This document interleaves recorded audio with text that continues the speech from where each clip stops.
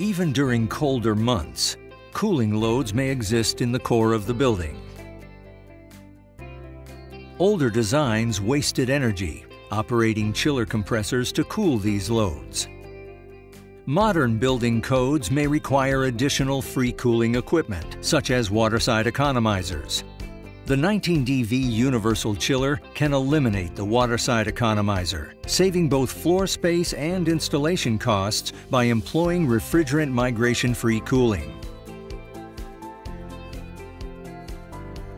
Inside the chiller, as refrigerant evaporates, it cools the building water. Vapor naturally migrates to the colder condenser where it returns to liquid. The 19DV's elevated condenser design ensures a liquid gravity drain back to the evaporator. The AquaEdge 19DV is the enabler of intelligent HVAC design